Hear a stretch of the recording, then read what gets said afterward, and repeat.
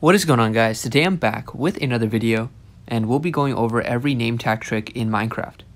So there are going to be a total of five and what we can do is put a name tag into the anvil and then just change it to a custom name.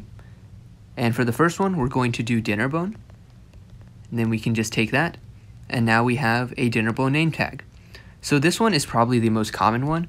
Most people will know that if you name something dinnerbone it flips them upside down. You can also do this by naming the name tag Grum. And one thing to note is that the capitalization is necessary.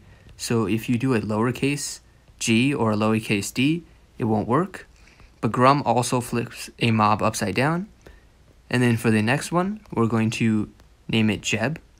And it's going to be all lowercase with an underscore at the end.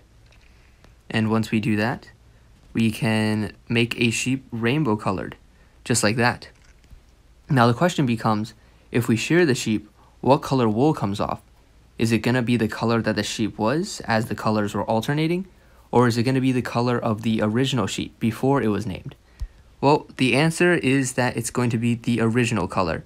So it's going to be white wool because it was white originally, but the colors still alternate. So that's just something interesting. But now the next one on the list is going to be toast. So we can name this toast with a capital T. And once we do that, we can do this on a rabbit and it will give it a custom model just like that. This one can't be found naturally. You can only get this model with the name tag. And then the last name tag on our list is going to be Johnny. So we're just going to put this in. And then name it Johnny with a capital J. From here, we're going to put it on a Vindicator.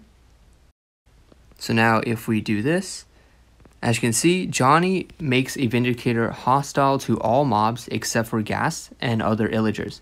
So before, it wasn't hostile on the rabbit, but as soon as we named it Johnny, it became hostile to it. So those are all five of the hidden name tag tricks in Minecraft. So that's basically it for the video. Hope you guys enjoyed. If you did, feel free to subscribe, and I will see you guys next time.